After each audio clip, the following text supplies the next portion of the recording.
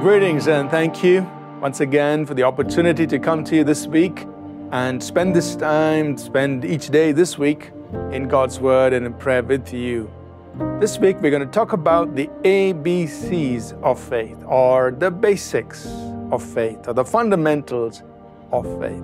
Now, I love to come back to this topic over and over again simply because it's such an important part of our Christian journey.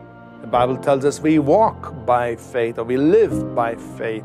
And so, this is how we have to live by faith in God.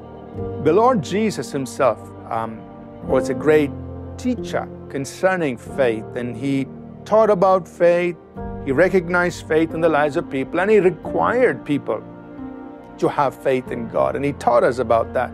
And so, it's good for us to go back to this topic and remind us that these are the basics. This is how we're supposed to be living and walking and exercising our faith in God. And that's what we're going to do this week. I hope you will find that enriching.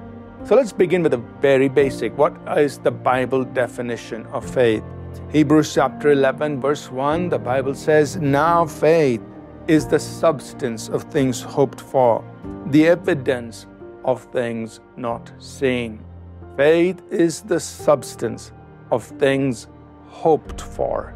So, obviously, in order to have faith, you need to have things hoped for, things that you're looking forward to, you're anticipating, things that you are desiring, things hoped for. And then faith comes in, and faith gives substance to this. Now, when we look at the Greek, that word substance can mean to uh, give existence, bring into reality that thing that we are hoping for. The word substance also means to be the foundation, the groundwork, the firm foundation for the thing you're hoping for, the, your expectation. So faith solidifies that expectation. And the word substance can also mean the title deed, the proof of ownership. So faith becomes your proof of ownership, saying that the thing that I'm hoping for, I have because I have faith for it. So faith entitles you, so to speak, or gives you the title deed for that, the thing you're hoping for. And faith is also the evidence of things not seen. That means because you have faith, for you, it's a reality even though it's not yet tangible. Faith makes real what the senses cannot recognize, or faith perceives as a real fact what is not revealed to the senses. So faith becomes the evidence or the proof of existence. So, in one sense, faith is the proof of ownership, and the faith that we have in our hearts is also the proof of existence. I know it's there, even though our senses do not recognize. So, faith is so important when it comes to things that we hope for and when it comes to things we do not see. For things we hope for, it's the proof of ownership. Things we do not see, it's the proof of existence.